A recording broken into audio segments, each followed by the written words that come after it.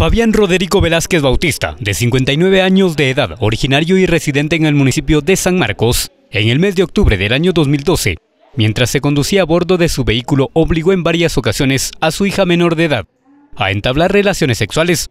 Producto de ello, la menor resultó embarazada y posteriormente presentó aborto espontáneo. Primer hecho.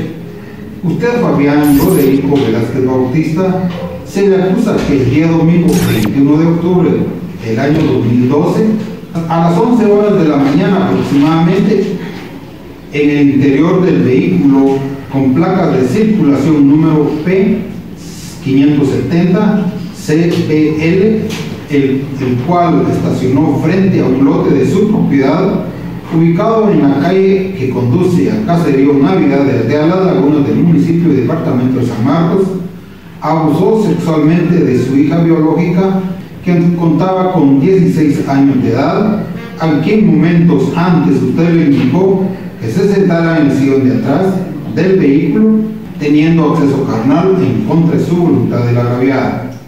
Conducta antijurídica que recibe la calificación jurídica penal del delito de violación con agravación de la pena. Por lo tanto, el juez competente dictaminó que Fabián Roderico Velázquez Bautista es culpable del delito de violación con agravación de la pena.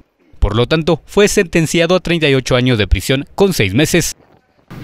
Se condena a Fabián Roderico Velázquez Bautista como autor responsable de dos delitos de violación con agravación de la pena y circunstancias especiales de agravación cometidos en contra de la agraviada, ilícito penal por el cual se le impone la pena de 8 años por el delito de violación, aumentada en cinco años con tres meses por la agravación de la pena y seis años por las circunstancias especiales de agravación, sumadas las tres penas hacen un total de 19 años con tres meses de prisión por cada delito.